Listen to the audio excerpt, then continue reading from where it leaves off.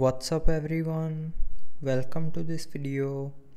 In this video I will show you how to fix the black and white display on your Honor smartphone. So to fix this black and white screen open settings. Now in settings tap on display and brightness. Now if you have enabled dark mode then switch to light mode and after switching to light mode it may help you to go back to the color screen. But if it doesn't fix your issue then open settings again. Now here in settings scroll down and click on accessibility features. Now in accessibility features tap on accessibility. And then click on color correction now here tap on this color correction button to turn it off.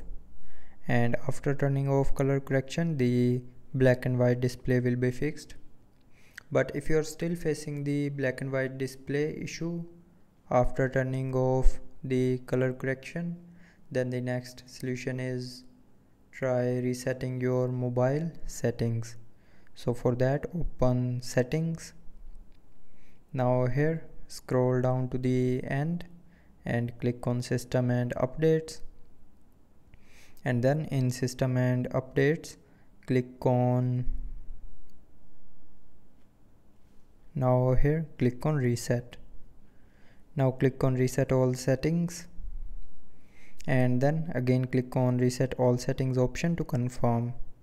So when you will click on this option here it will reset all your mobile settings but it will not delete any data from your phone so after doing this the black and white screen will be 100% fixed. So i hope you liked the video. Thanks for watching